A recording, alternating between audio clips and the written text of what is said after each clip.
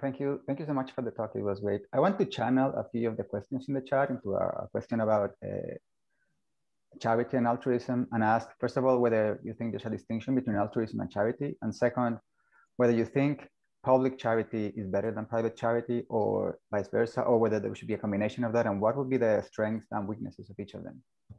Yeah, so I, I think that for me, having thought in every way around this issue for 50 years, maybe not every way, but where I am right now is uh, I have settled on uh, human rights and economic rights as probably the best, most powerful synthesis that we have of these issues. I like the fact that the Universal Declaration of Human Rights uh, has economic, social, and political rights in it. In the United States, we don't recognize the economic rights uh, we really don't. Uh, this Anglo Saxon mentality is very deep. We are Lockean uh, for good and bad, but we don't recognize the economic rights. But I would start with economic rights. Uh, and economic rights should have corresponding economic responsibilities as well, because to realize an economic right means that you have an entitlement and somebody has to honor that entitlement. Uh, that could be taxing these billionaires, for example. So I think that uh, this is how I would frame the general issue.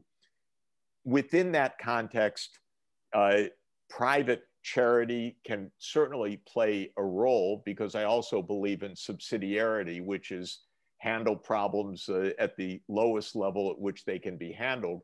But the debate on public versus private uh, addressing of these rights has shown for 2,000 years that private action is not sufficient. And I think that this remains true today. Private action will not realize rights. Private action will help us each in our individual lives to be better, whether we're recipients or givers. And so we should champion it. Mercy, uh, charity is a virtue.